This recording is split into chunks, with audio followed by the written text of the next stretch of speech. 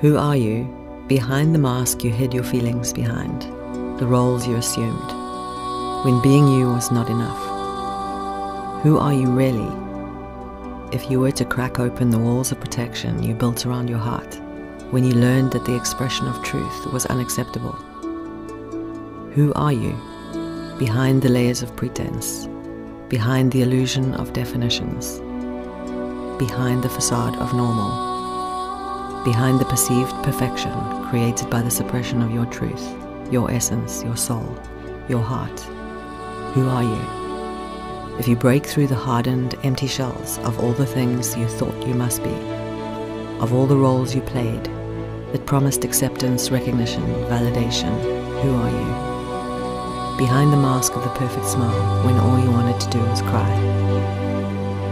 What if we all just allow the masks, the definitions, the armor, the castles of protection, the pretense of illusion of perfection created by the suppression of truth, to fall away, so that we may see in each other's eyes the truth of our essence.